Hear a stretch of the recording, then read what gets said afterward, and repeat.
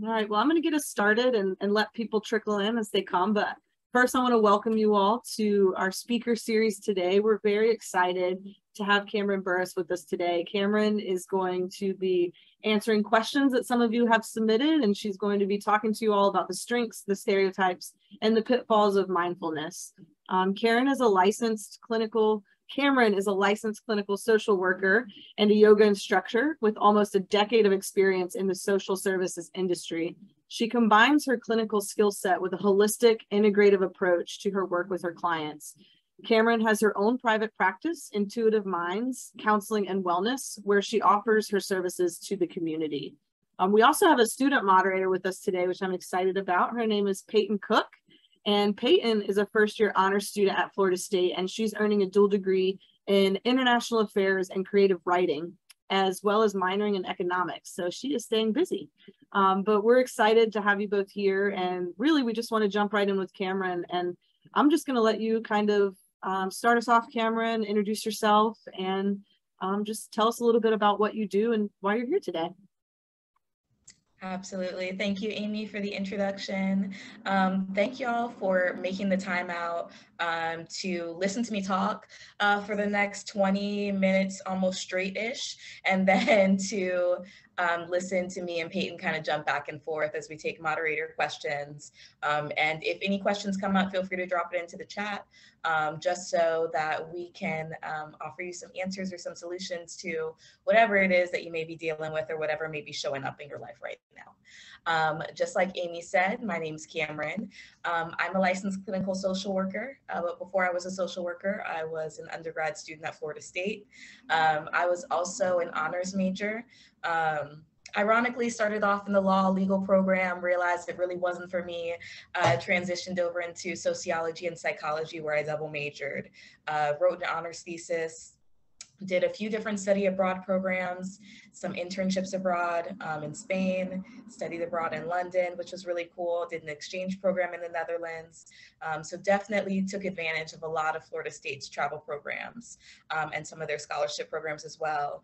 Uh, finished my undergraduate degree with an honors thesis on motivation to study English as a second language, a kind of like a combination of all of the studies that I've done abroad and all of the interactions I've had with different people in different cultures, uh, which really helped me dip my toe into the research field.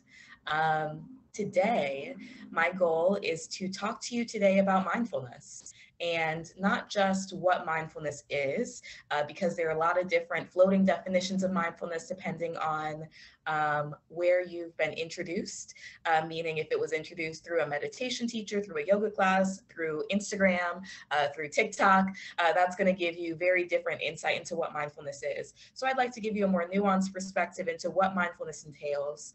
Um, and then give you some tools maybe to help you use mindfulness practices in a meaningful way.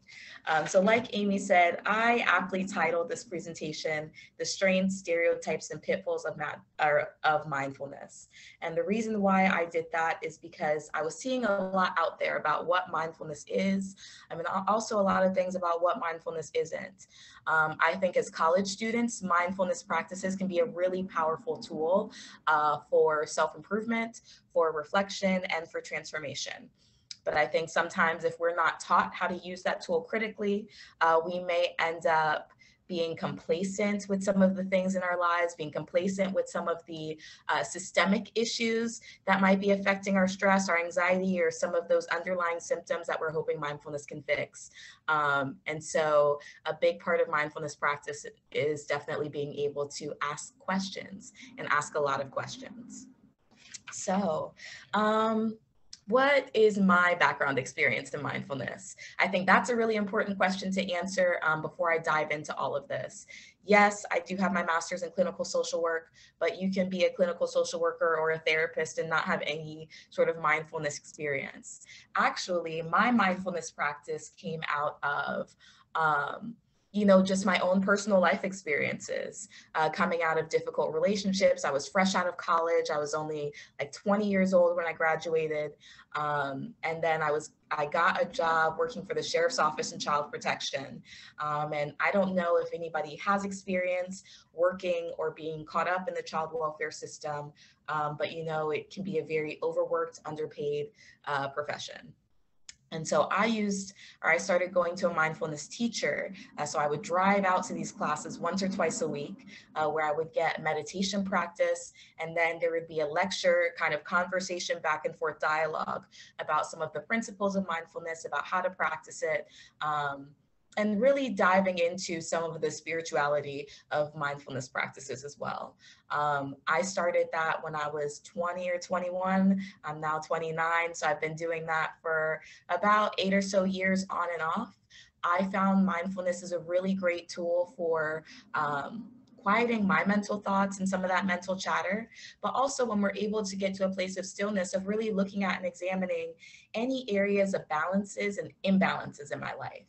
And when I say balance and imbalance, I mean, what are some parts of my life or some aspects of my life that aren't really in alignment with my values?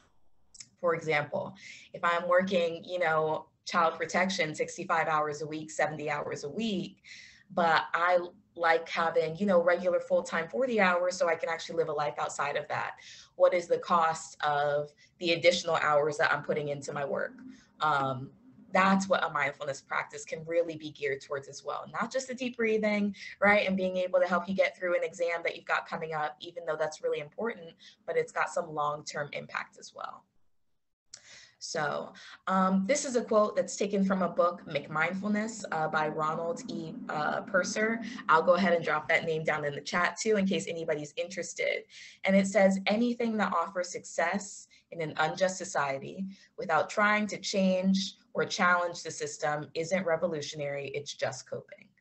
Um, and I think that really speaks to some of the pitfalls and some of the dangers of mindfulness practices today.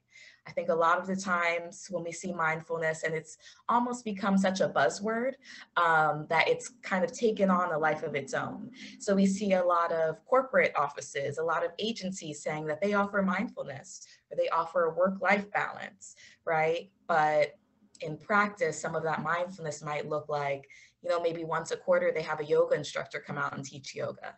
Yeah, you might feel real relaxed at the end of that, but what does their leadership structure look like, right? Because that's really going to help promote work-life balance more so than getting a yoga class every once in a while.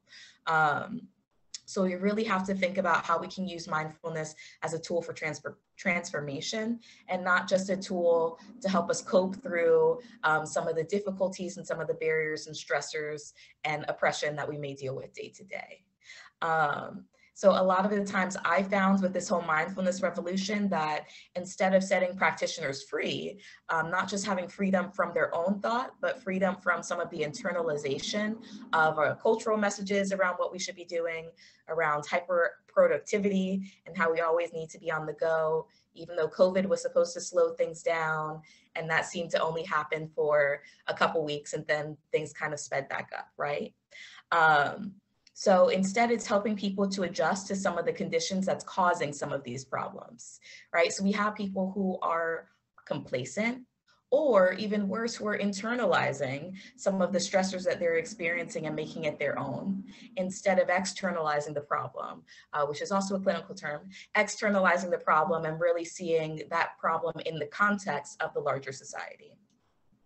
All right, so mindfulness can be a great tool for tuning out mental rumination.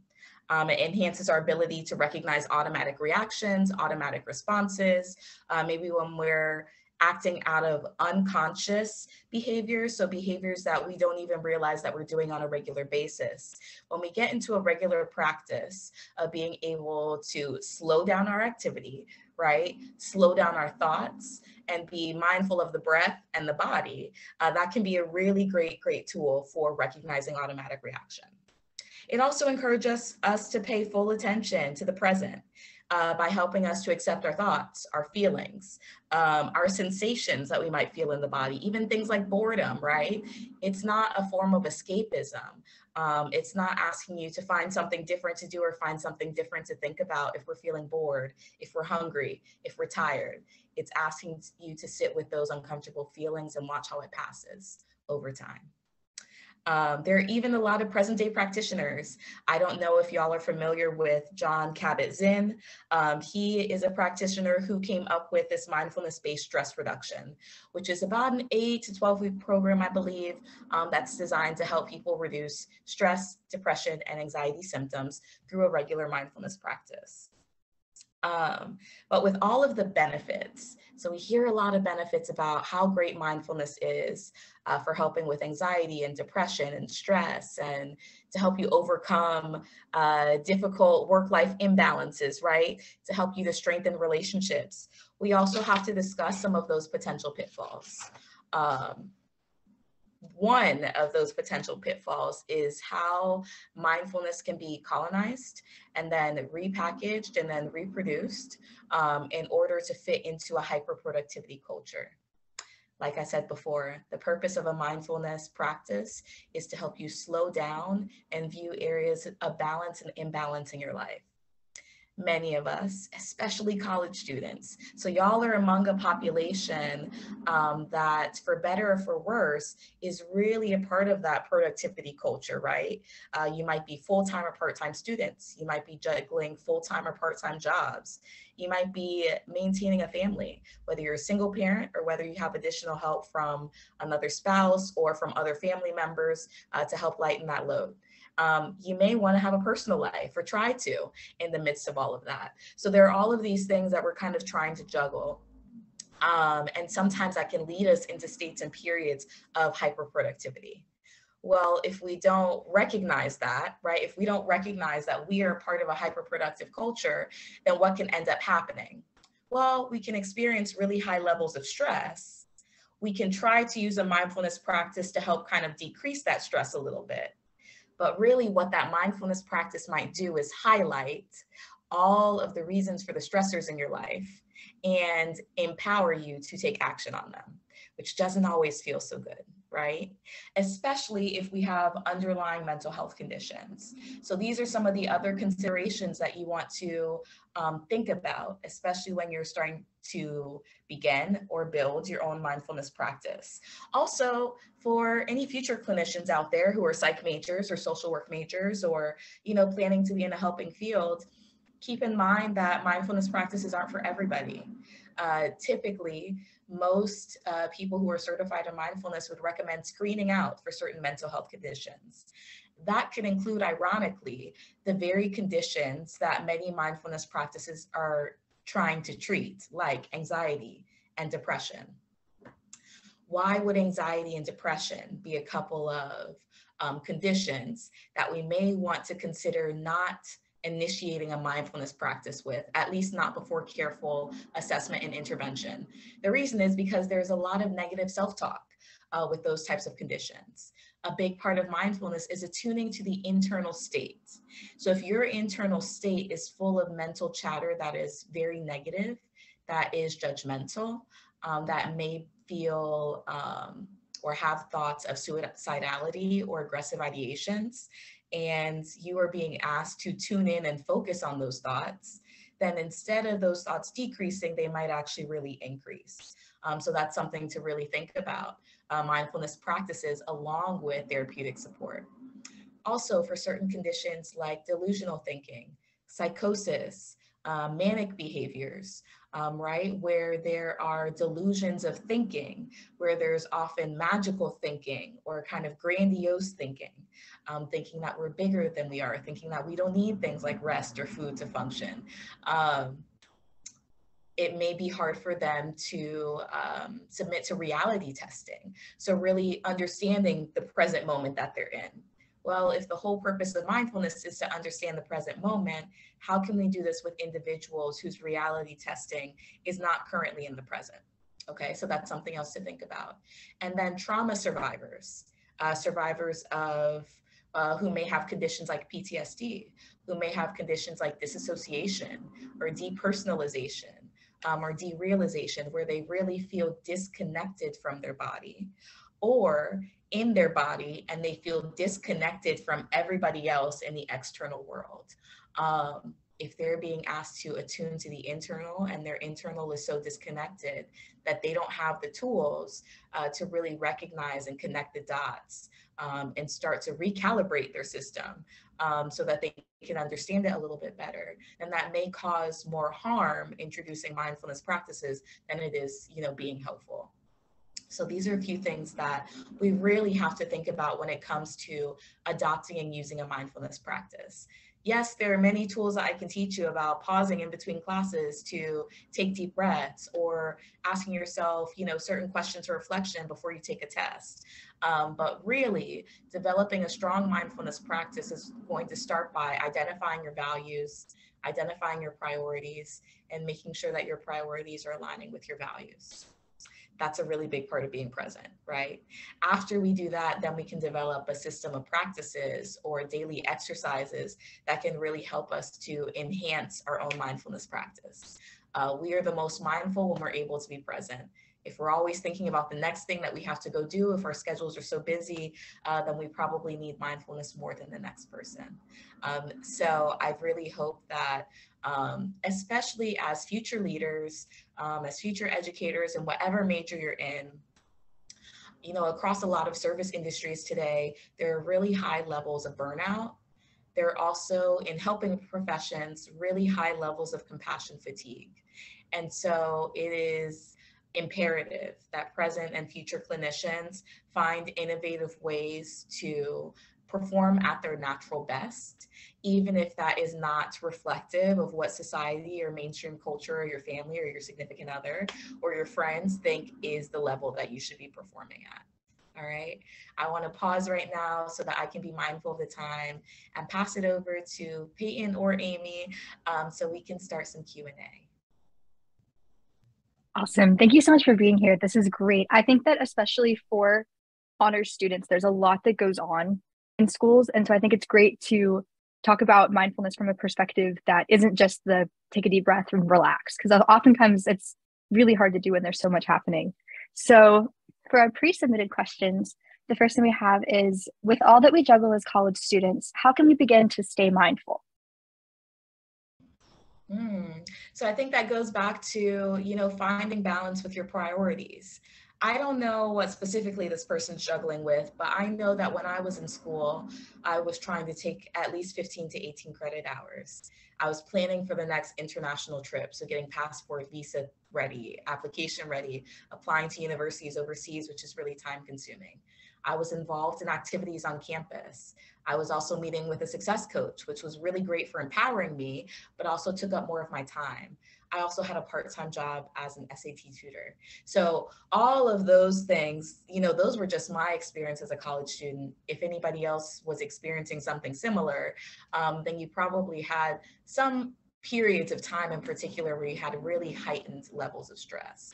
Um, I would recommend really coming up with a schedule that you think is going to work for you. So again, once you list your values, so if your value is having a work-life balance, um, then I want you to think critically about how many credit hours you should be taking in order to achieve that balance. It's going to look different for everyone. It really depends on your nature as a student, the classes that you're taking. Some are going to be harder than others, right? Um, it depends on a lot of factors, but decide for you how many credit hours do I need um, to still maintain my status as a student, especially if you're getting financial aid or all of this other type of aid. Um, but also, how can I also make some space in my life for adventure, for excitement, for trying new experiences and for trying new things? Um, so set those priorities and those values and then come up with a regular schedule that works for you. I know most college students don't have class every day because y'all are free to make up your own schedule. And hopefully you did not give yourself classes Monday through Friday um, if you have the choice not to. Um, but on days when you can have structure, give yourself some structure. Um, I think most people do benefit from having structure and consistency in their life, even if it isn't 24 7.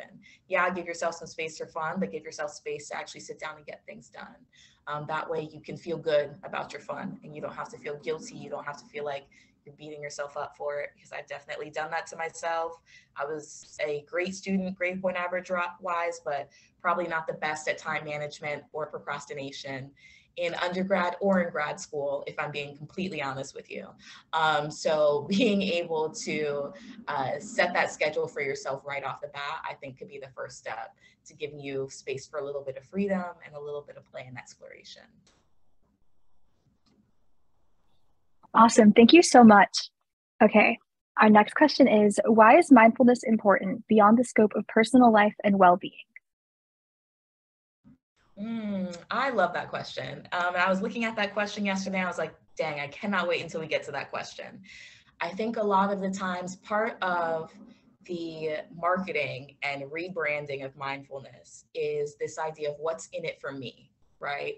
I want to reduce my stress. I want to understand my emotions better.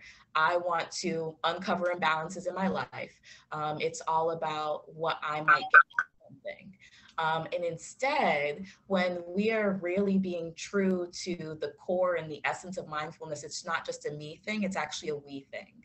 Um, so mindfulness practices can really enhance our empathy, our sense of compassion, our sense of interconnectedness um, to other things. And so part of using mindfulness critically and using it as a tool of self transformation is also thinking about how yourself fits in the context of the rest of the world. If we're looking at imbalance and we're looking at um, balances and imbalances within your community, right? Uh, maybe your community is the Florida State uh, student body population, right? Maybe it's a little bit smaller and it's the friends who are in your close network or your close personal uh, circle whatever your community looks like, you may ask yourself, how do I give? How am I of service to a community? Um, I believe that a big part of yoga, mindfulness, um, and these type of spiritual spiritual based practices is about union. Uh, so yoga is actually Sanskrit for the word union, which is about coming together. Um, and so practices like this help to enhance our ability to come together as a community. Um, and imagine just the power of using mindfulness at a community level to enact transformation and personal and community empowerment. I mean, you know, where that goes is really endless. Um, so I think there's a lot of value in really thinking about and considering how your mindfulness practice extends outside of just you um, and also to the other people around you, because it definitely does. That's awesome. Yeah. I, I know that, like, for example, I've seen a lot of stuff on social media that makes it seem like it's a very personal, very self reflective thing. So taking it out to other people, I'm sure, is just, it helps you with mindfulness a lot. Um, our next question is How can we take the brief moments at school and work to be mindful? So, you know, I don't know how long these brief moments are. I don't know if this is something as far as, you know, you're walking to class. Uh, there's so many different types of meditations that we can get into as well. There's visualization exercises uh, where you can visualize yourself at a certain point in time, uh, past, present, or future um, and really use deep breathing to help you um, kind of visualize even better. Um, they're walking meditation. So as you're walking the class, you could actually do uh, meditative work um, and kind of help you get from A to B, help you get some physical activity in, um, and help you kind of attune into your internal state while you're doing that physical activity. Um, other brief moments, there's really no limit um, to the moments and the times during the day where you can pause for a mindfulness check-in. Uh, there's no set amount of time that you have to practice in order for it to be categorized as mindfulness. So you could really take 15 seconds uh, before you go into the door to start your workday to take a couple of deep breaths to help you mentally reset to look around and say, okay, yes, this is where I am. I'm going into the workspace. Whatever I was doing before I came into the workspace will have to wait until after I leave, right? Um, that's also a mindfulness practice. Um, so it's not limited to just, you know, we where can I pause and where can I sit on a meditation cushion, crisscross applesauce, and like breathe for at least 15 minutes. Um, because for many people, especially like I said, we're products of a hyperproductive society. Um, so that idea of pausing intentionally for long periods of time may not seem realistic or attainable for a lot of people. Maybe start by finding one to three times in a day where you can pause for however many seconds to just note how you're feeling, to note how you're feeling internally, and to transition from one moment to the next. So, transitioning from school to work, transitioning from work to home, uh, transitioning from being in bed to waking up and starting your day. Uh, transitions and noting those can be also really important times to like check in and try to be mindful. Awesome. Thank you. So our next question comes in the chat from John, and it says, a lot of recent discussion in psychology and self-help spaces have been about resilience. Do you think the concept of resilience has the same pitfalls as mindfulness?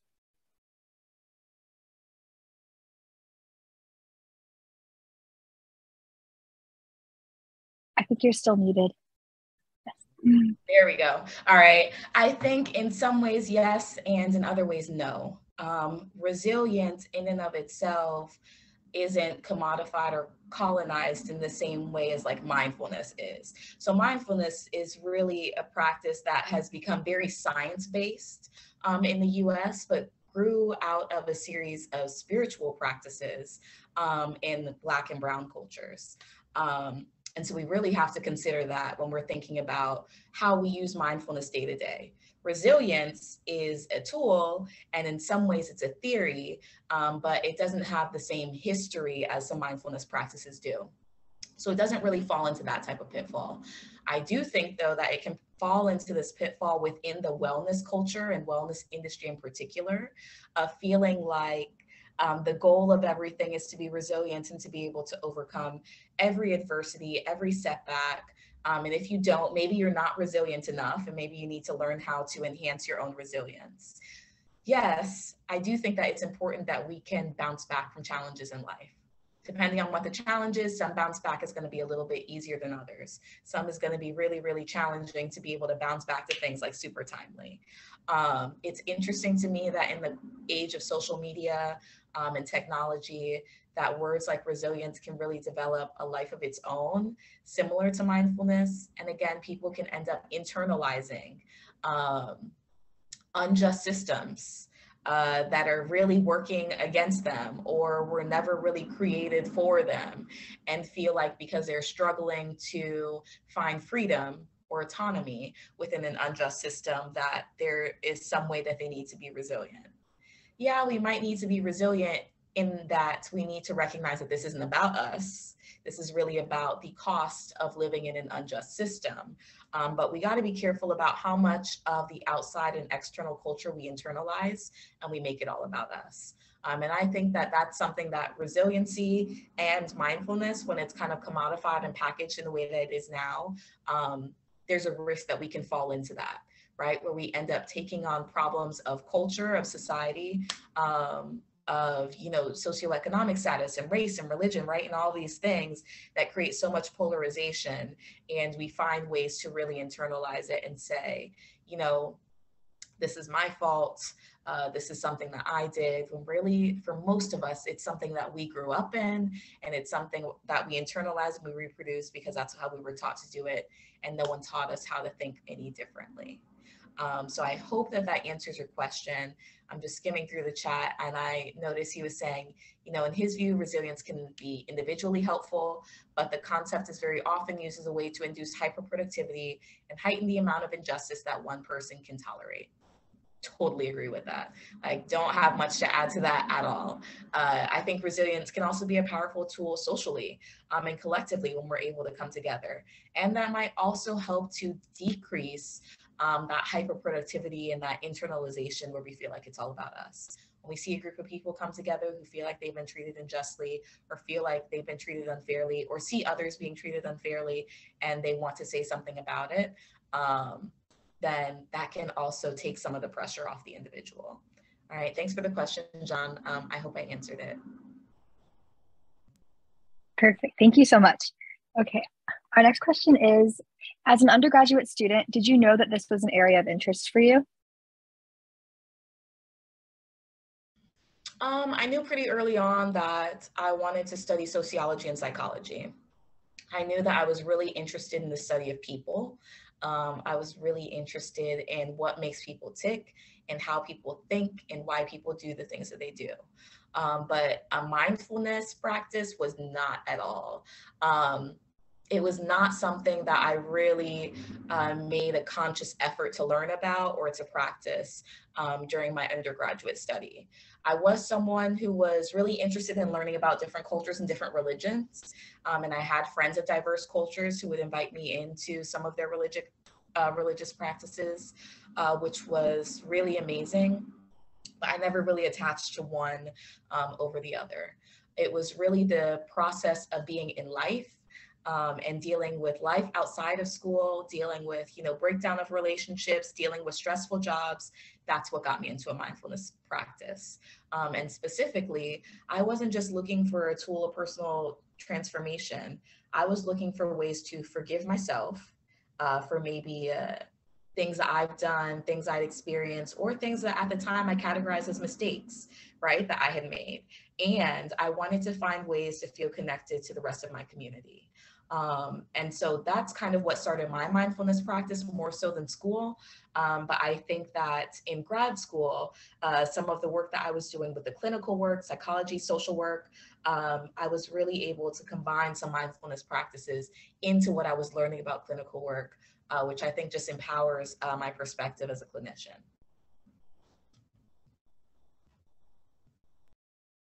That's so interesting. That's awesome.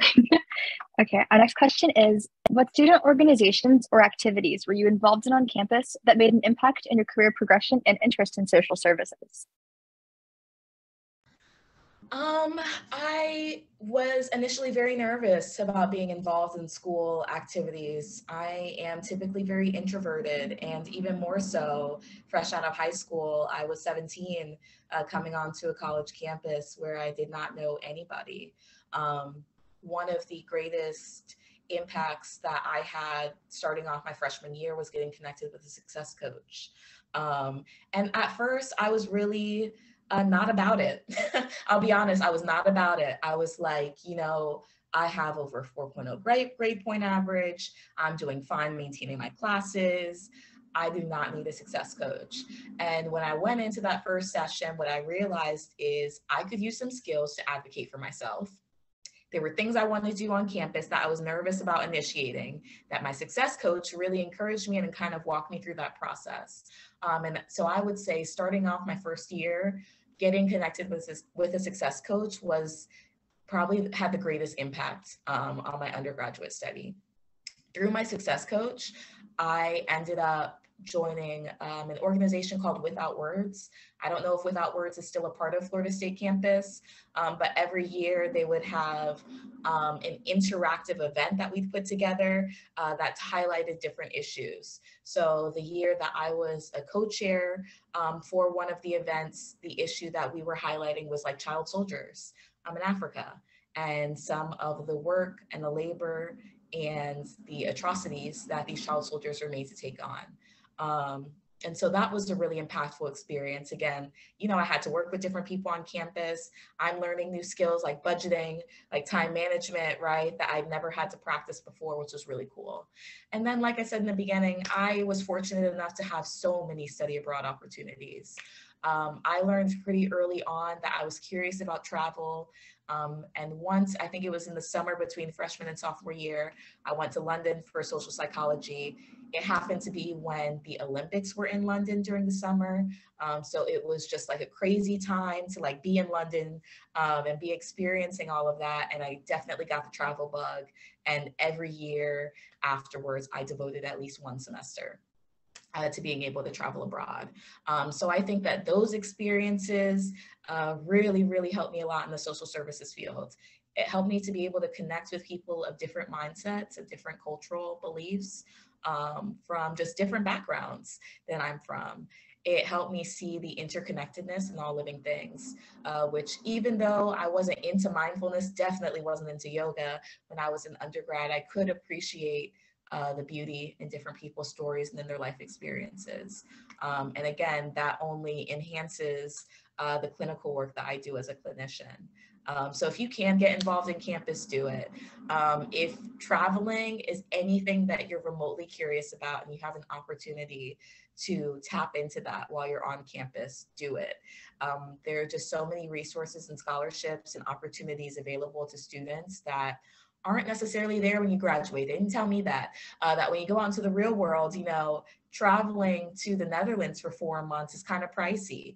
Um, so take full advantage. Uh, you never know what experiences you have in undergrad that can propel you later down the line.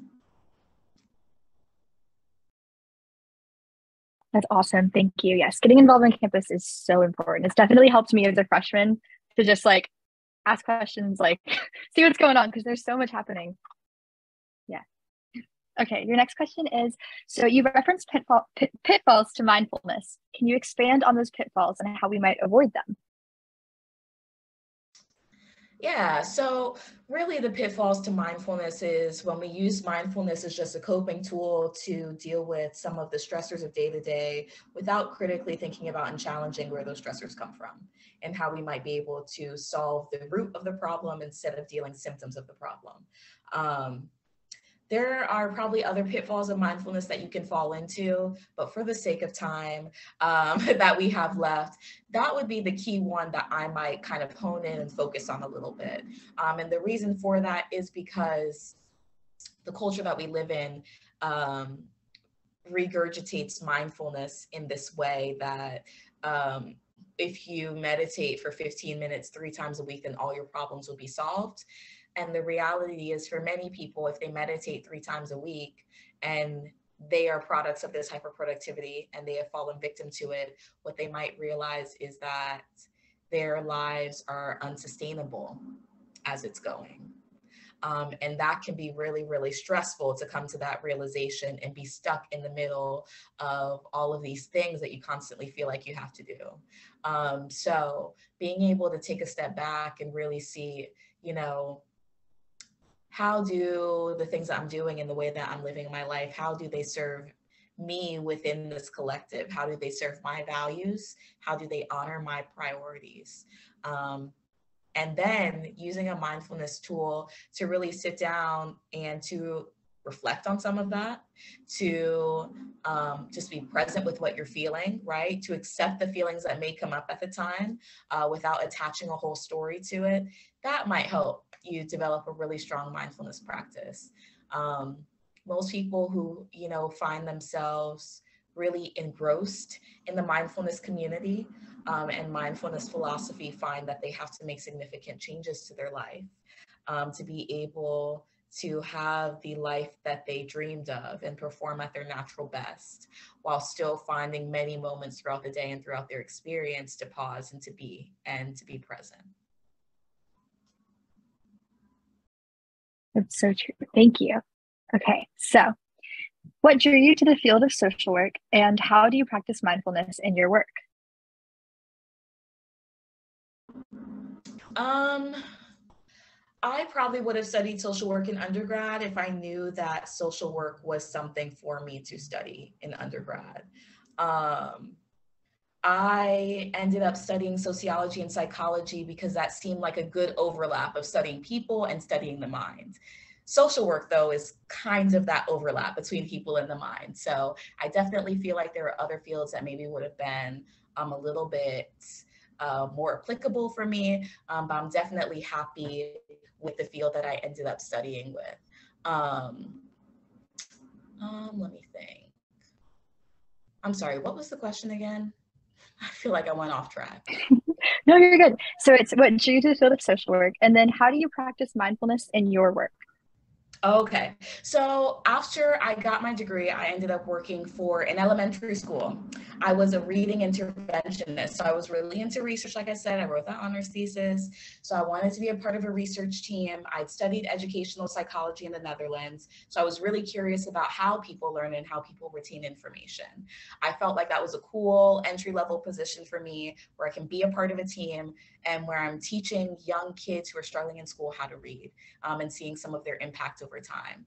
Um, and then from there, uh, one of my coworkers actually was interested in being a child protective investigator. She was a little bit older than I was and felt like maybe her time had passed. I'd never even heard of the field, but I thought, why not apply? I got through a very strenuous application process and um, you know, that was my first introduction to social work uh, was being in that field. It is more than just dipping your toe in. It's like diving into the deep end uh, because you are seeing your community at a different level than you've probably ever seen it. Um, so I've never seen, you know, growing up, so many people struggling with addiction, struggling with domestic violence, struggling with child abuse and neglect, struggling with poverty, um, food insecurity.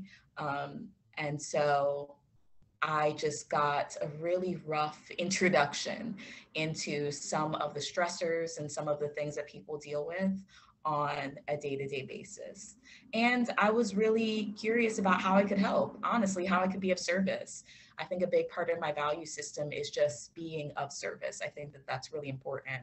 Um, so from there, you know, I was in child protection, working 65 hours a week. I got burnt out. I transitioned into child welfare case management, uh, was driving around to people's houses all day, every day, got burnt out from that, but also learned a lot of tools. I realized in order for me to do the impactful work I really wanted to do and empower people to make the changes that I really felt was within reach for them, that I needed to go back to school and I needed to study to become a therapist um, found a program that I felt like would be a good overlap for me because as much as I love clinical work, I'm also, if you don't already know, I'm a huge advocate. Um, so advocacy services are really important. That tied me into clinical social work. Um, and yeah, that led me to the, the field that I'm in right now. That's so fantastic. Thank you for sharing that. Okay, so we're at our last um, pre submitted questions. So if you have any other questions, make sure that you type them into the chat now. And our last question is for those of us that feel we don't have time to practice mindfulness, what can we alter in our day to day to help with that? Um, so I was often told by my first mindfulness instructor that if you don't have time for mindfulness, you need to practice it twice as much as the average person. And the reason for that is mindfulness is more than just a tool to help you cope with the stressors of day to day. It's more than a tool um, where if you can just find time to squeeze it in, then you can do even more in your day. In fact, mindfulness shows you where you can stand to pause a little bit more where you can stand to be present. It highlights areas of your life where you maybe haven't been as present. Um, and so if you can't make time to meditate, um, I ask if you make time to breathe, if you make time to have a thought, if you make time to walk anywhere, if you make time to eat at any point during the day, um, if you make time to go from one activity to the next. So again, transition from work to school or from school to home uh, then you have time to meditate. Like I said, it doesn't have to be a 15 minute practice. It can really be 15 seconds in a day where you check in. Maybe you take a breath or two.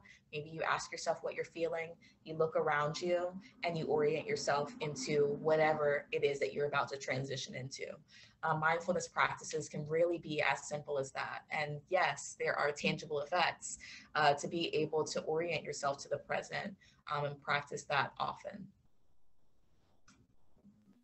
Cameron, I had a quick question. Um, just since we're all addicted to our cell phones and tablets and, and everything like that, is there an app that you would put, you know, your name behind and say this is an okay app to download?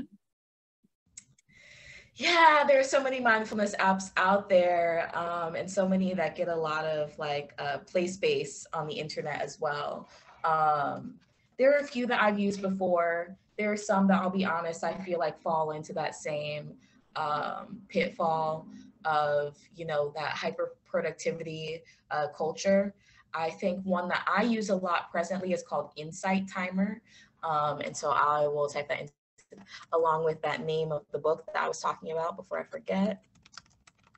All right, so Insight Timer is the name of the app. Um, what I like about this app and what makes it really cool for me is that you can meditate and do yoga with practitioners all over the world. Um, so the app has international yoga and meditation instructors um, of all different body types, of all different ethnicities. So it's not just for people who are able bodied, um, it really is for everybody. They also have communities, they have forums. Um, so if they're, you know, if you're really into uh, sports, I'm not. Uh, but if you're really into sports or something um, and you want to be a part of a meditation and sports little community or forum, you can join that too and kind of find opportunity for community. Um, I think for as much as we like to sometimes, or I like to sometimes hate on social media and hate on uh, the internet and some of the pitfalls of this hyper-produced culture, um, I think that there are definitely some advantages to it. It can bring people together. Um, and I think that that's a really good app that brings people together. You can also donate and support the teachers that you end up teaching from. So you are able to contribute to their livelihood as well, um, which helps to um, highlight that sense of interconnectivity. So yeah, Insight Timer is one I definitely recommend. Awesome. Thank you so much. And while you type that book name or book title in there, I did want to say you you had talked about um, success coaching here, and so now I think that now they call the program college life coaching, and mm-hmm. so I I'm going to put the link in here since you referenced it a couple times, just for our students who might want to um, look into that that are here now. But I just want to thank you. I think that was almost as helpful for me as it probably was for students too. Um, just from working every day and then um, it's just the busyness. And you're right. If we can take time to eat or to walk from one place to the, to the next, we can take time to be mindful. Um, so I really appreciate um, all of your guidance today and your words of wisdom. And for those of you that might have um, not felt like you could ask a question or want to ask a question, please feel free. I'm going to send a follow up email after with the recording of this because if you want to go back and revisit anything she said, you'll have the recording. And then if you have any question that you think about later, um, feel free to email me and I'm sure I can forward it to Cameron and she'd be happy to address it. Um, but I'm so thankful for you for being here today and for taking your time to engage in this way and for you Peyton as well for for moderating today. It was a great session. But I'll let you. I don't know if you wanted to say anything else before we wrap up today, Cameron. Um, no, just thank you for your time. Thank you for the invitation and for the opportunity. I feel like I learned as much from uh, these workshops or these conversations as y'all may learn. Um, all of the questions are an opportunity for me to go back and to relearn as well. Um, so I'm really grateful for it. If you've got any questions, feel free to send them to Amy. I'm happy to answer them um, as they come through my way. Um, I also, you know, I have a private practice, so I do have my own website as well. If you ever wanted to contact me directly, um, that is also an avenue and a resource for you.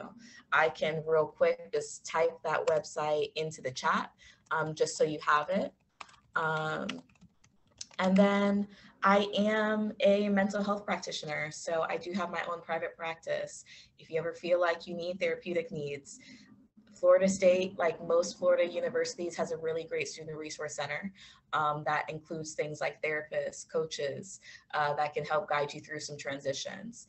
Um, but if for whatever reason that doesn't feel like a good fit, I encourage you to reach out um, to find a therapist that is a good fit. Um, and if you ever you know, look at my website and you think, you know, this might be a good fit, uh, go ahead and reach out to me. We'll have a conversation. Okay. All right, that's all I got for you, Amy. Thank you so much, Peyton. You were a great moderator. Couldn't even tell that this was your first time. You were like a pro.